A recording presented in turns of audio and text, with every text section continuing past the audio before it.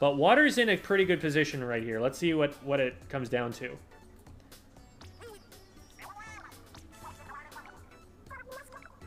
Open and pro at once? Okay, this will determine the winner, straight up.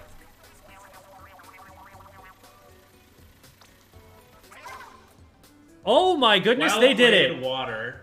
Well played. They actually pulled it off. That's insane.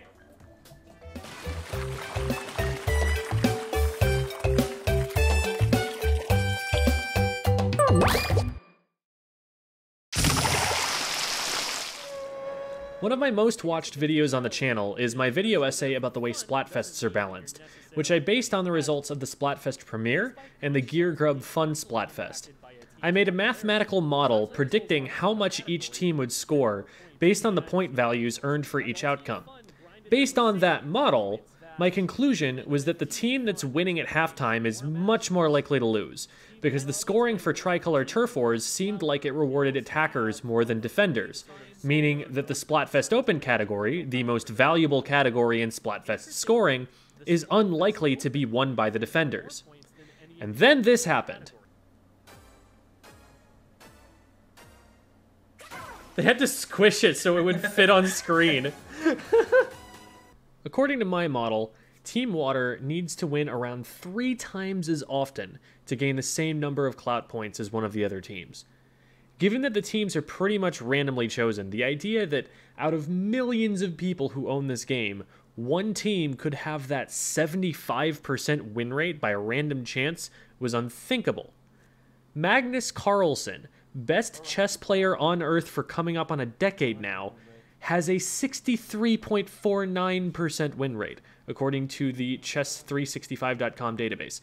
The highest win rate a League of Legends champion has ever reached was only 65% over a month, maybe at most 72% before a needed balance hotfix. The highest regular season win rate in Major League Baseball is only 57%. And while that spans all of baseball history, that's still under 19,000 games. More than that were played during this Splatfest. Team Water is not Magnus Carlsen or Juggernaut Rework Skarner or the New York Yankees. Not only that, but I even left out some extra points that attacking team players can get by attempting to cap the Ultra Signal, points that they get even if they fail to actually cap it. Factoring those points in would only have made it more unlikely for the defending team to win. It seemed hopeless. I figured that the balance of the Splatfest must have changed to allow this to happen. Having discussed this on stream, a viewer challenged that assumption. This viewer, Drumstep, made their own model of expected clout from Tricolor Turf Wars, because while they believe my math was correct based on the assumptions I made, they disagree with the assumptions I made. They shared this spreadsheet with me, which contains their own model. You can see here that while the attacking teams are still projected to earn a bit more clout from tricolor matches, it's not nearly as skewed as my model projects. The big difference is that where I assume it's equally likely for any of the three teams to win, Drumstep believes it's more likely for the defenders to win because they have more players. Remember, Tricolor Turf War is an asymmetric game mode. The two kinds of team are not the same. Drumstep adjusts the likelihood of winning based on how many players there are. So defenders have a 50% chance to win, and each attacking team has a 25% chance to win by default. They consider a Sprinkler of Doom, the reward for capping the Ultra Signal, as an extra player for the team that captures it, meaning that now, instead of having two out of the eight players in the game, an attacking team can have three out of the nine or four out of the ten players in the game. Does this reflect my experience of playing the game? Not really.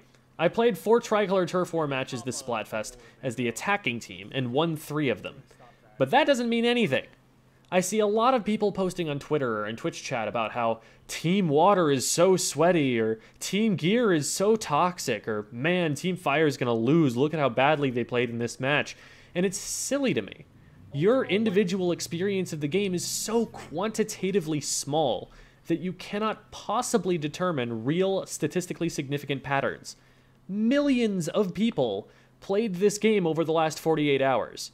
In the time it took for your shortest game to finish, there were maybe hundreds or thousands more games that other people played at exactly the same time.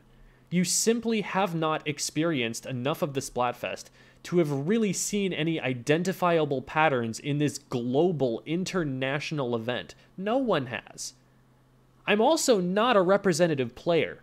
I've got thousands of hours in the Splatoon series. I may not be a tip top level player, but I know enough about the game to be able to teach the vast majority of players how to play it better.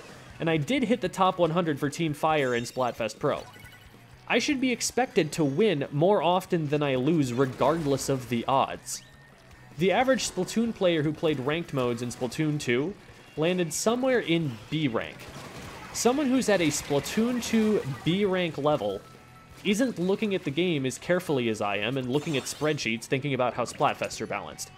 Even if top players were to lab this mode out and determine that at top level the game is skewed toward one side, what will actually determine who wins or loses the Splatfest is not how the game works at top level, but how it works at the equivalent of Splatoon 2's B rank.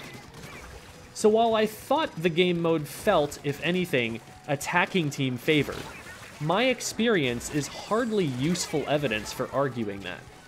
So maybe my personal experience was insufficient, and Tricolor Turf War is actually pretty closely balanced, and that the defending team wins more than my experience tells me it does. Maybe the rewards for each team are balanced a lot more carefully than I thought they were, because since the defending team wins more, the attacking team actually does need all of those advantages just to be able to catch up. The model explains Team Water winning a lot better than mine does. What do you think?